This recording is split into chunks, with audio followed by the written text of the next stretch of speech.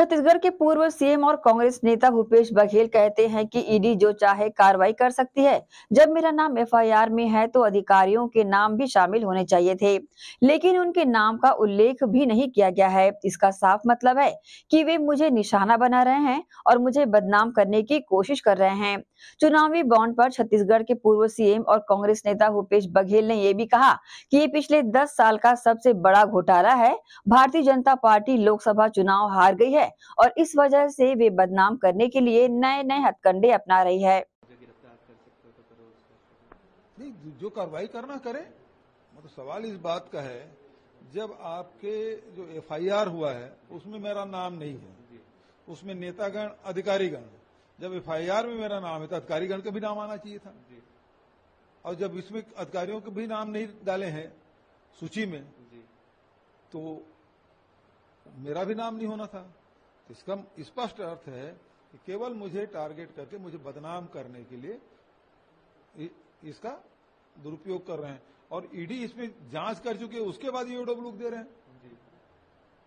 तो इसका क्या अर्थ है कि ईडी इतने दिन तक जाँच करती रही, वो पूरे खंगाल चुके, कहीं कुछ नहीं मिला।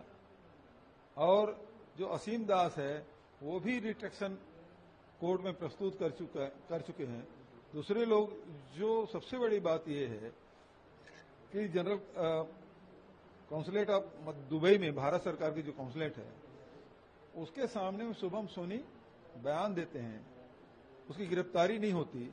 और काउंसलेट जनरल है वो हाई कोर्ट में एफिडेविट देते हैं कि इसके लिए मैं आ, मैं जिम, आ, इसकी ज़िम्मेदारी नहीं लेता। तो इस प्रकार की जो बात है तो स्पष्ट है कि उसी के अधिकारी उसकी ज़िम्मेदारी नहीं लेते उसके बयान का। तो वो तो अपने आप में बात खंडन हो रहा बात है। ये जो बांड उसके पास गया है वो आखिर ईडी आईटी के पहले नोटिस या छापा पड़े हैं और उसके बाद चौदह कंपनी इसको पैसा दिए हैं। तो लगातार ये दबाव और धमकी के माध्यम से चंदा उगाही करने का जो आरोप है पूरे देश देश में ये पिछले दस साल में सबसे बड़ा घोटाला है। इसका स्पष्ट इस अर्थ है कि वो राजनांदगांव लोकसभा चुनाव भारतीय जनता पार्टी हार चुकी है और इस कारण से बदनाम करने के नए नए हथकंडे अपना रहे हैं।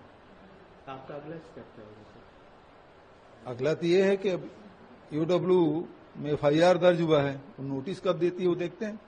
आपने कुछ